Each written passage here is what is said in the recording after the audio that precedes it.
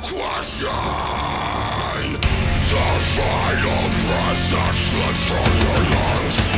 Is when you learn your lesson.